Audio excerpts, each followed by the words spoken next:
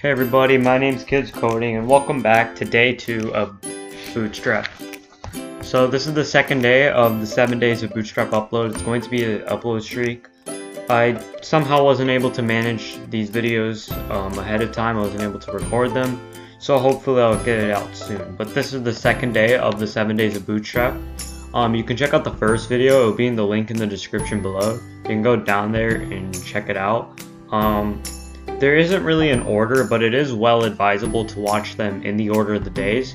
So if you want, and it'd be highly recommended that you watch the first day before you watch this one. And also watch the recap so that you're fresh in your mind before you get started. So that's pretty much that. Let's um, get started. So let's make our title Bootstrap Alerts. Just to review, the title is what will show on the tab right here. I just want to change that so it doesn't confuse you guys. But anyway, let's talk about Bootstrap Alerts. That is the whole purpose of this video. So what alerts are is that they're simply a way to give a pop-up message. It's like a notification. So it gives a pop-up message. They're created using something called the alert class.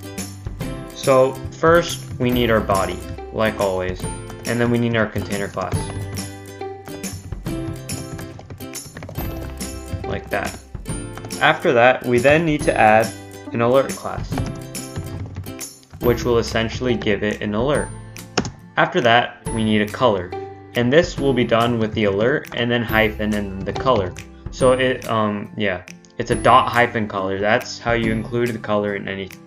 It's the same way how you include the text color background color.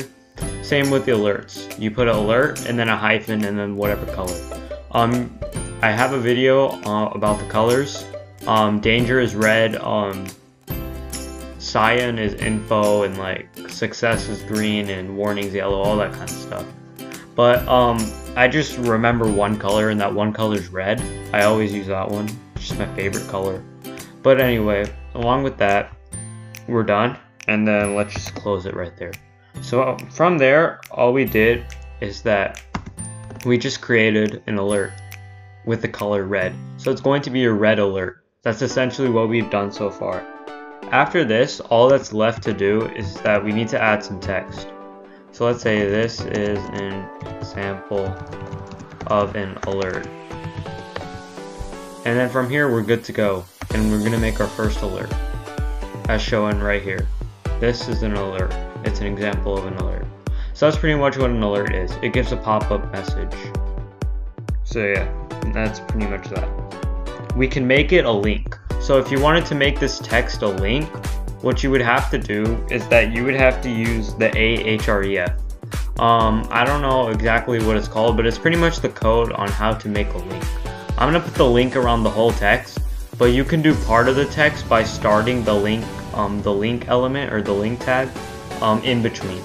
So um, wherever you want the link, you start the tag. So um, that tag is Ahref, and then um, make that a hashtag, like that.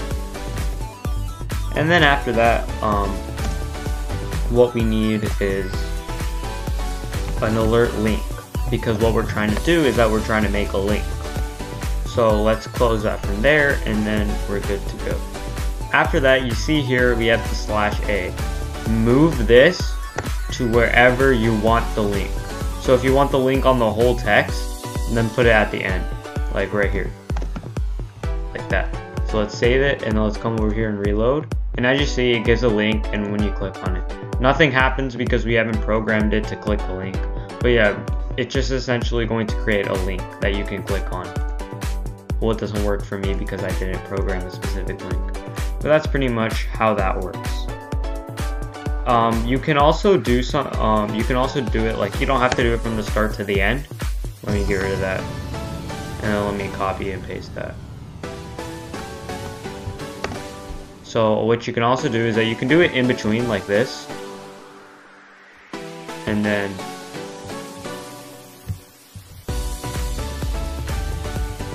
and then you can end it like right here.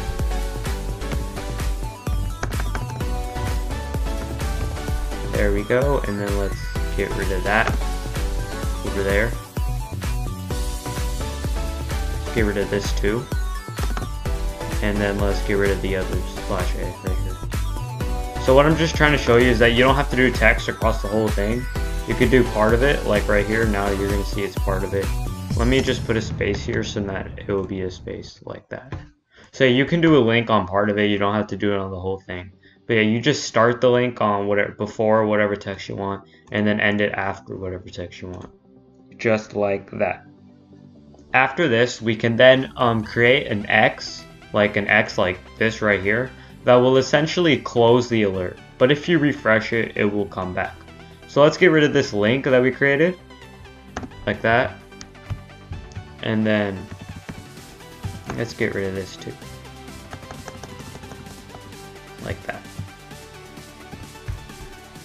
So what we can do is that we need to create something called a button because what we're doing is that we're essentially going to click on it and it will close. So we need to program a button. So we're going to do button type. We're going to make it a button because we're going to click on it. And then we're going to make a close class because we're essentially wanting to close it. And then after that, we just do a data dismiss. and then um, alert. And then I think from there we can just do at times. That just means um, the number of times. Um, and then I think we're good to go from there. So that just means you can close it many times. Oh, what did I do? There. And then I think we're good to go. So let's just save it and then let's reload. And as you see, it gives an X. The X isn't oriented properly. That probably has something to do with Google. But yeah. So now when you click on the X, it will go away. But as you see, um, when you reload it, it'll come back. But um, when you actually look at it, like if you actually see the motion, it just goes away in an instant like that. If you want to, if you want to, you can do like a specific motion, like um fade or show. So like what I can do is that I can make it fade. So let me go back to the the alert class, like right about here. It was like alert, alert, danger. What we need to do is we need to add an alert dismissible. Dismissible. Like that. Let me just quickly save it and see what happens from there. It's going to just close it like that.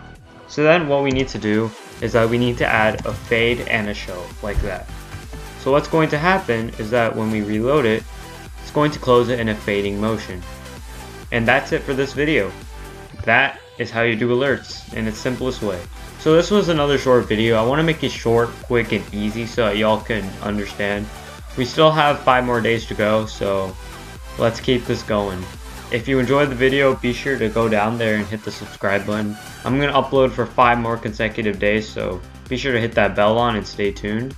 And follow my socials down below if you're interested, and I'll see y'all next time.